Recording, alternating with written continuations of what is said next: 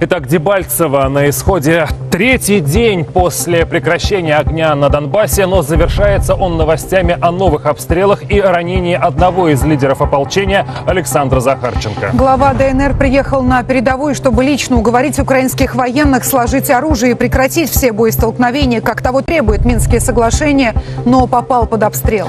Репортер анатомии дня Дмитрий Зайцев выяснил, что уже через пару часов Захарченко планирует вернуться в Донецк.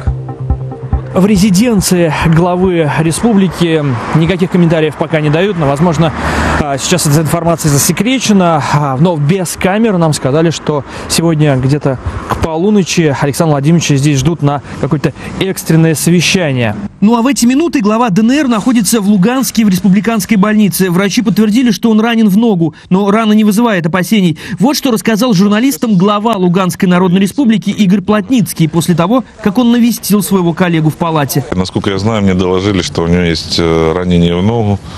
Операцию будут делать здесь. Насколько я понял, э, ничего такого супер серьезного нет.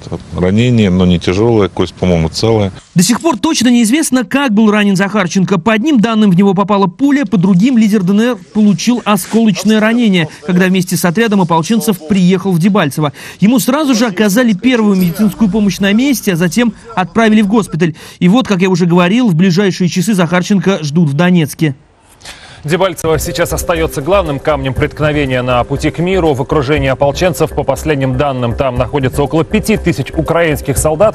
И хотя официальный Киев продолжает настаивать на том, что Дебальцевского котла нет атаки на позиции ополченцев с попытками освободить своих, украинские военные не прекращают. Это, пожалуй, единственное место, где на юго-востоке Украины еще идут бои. Всю последнюю информацию узнаем у нашего репортера Дмитрия Зайцева. Он выходит в прямой эфир.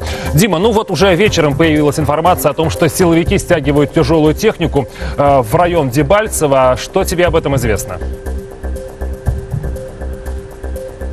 Да, действительно, Егор стягивают. Э, известно о том, что идут грады, э, ураганы и смерчи, а также артиллерия – это гаубицы. Но, собственно, я сейчас предлагаю послушать интервью, куда именно стягивают. Это Эдуард Басурин, зам, корпуса, зам начальника корпуса Минобороны ДНР. С наступлением темноты украинские военные подтягивают на огневые позиции в районе населенных пунктов Артемовск, Светодарская и Луганская тяжелые артиллерийские системы и РСЗО. Тем самым готовится очередная попытка деблокирования группировки, окруженной в Дебальском котле. Ну вот речь идет, скорее всего, о Нацгвардии. Вот сейчас в Фейсбуке появилась запись о, в, в аккаунте Дмитрия Яроша. Он потребовал полнейшей мобилизации правого сектора. Это вот уже наводит на мысли, коллеги. Дим, сегодня появилась информация, что ополченцы готовы не обменивать, а просто отдавать пленных напрямую родственникам. Поясни, речь идет о тех, кто сам сдался, находясь в окружении, и сколько уже таких? Да, действительно, глава республики Александр Захарченко э, уже и раньше говорил, что те люди, которые э, сами сложат оружие и уйдут из Дебальцева, сразу же отправятся к своим родственникам. Сегодня 120 э, человек добровольно сдались в плен, но самое интересное, что ни один из них не знал, что они находятся в котле, то есть киевское руководство, по большому счету, их просто кинуло на произвол судьбы.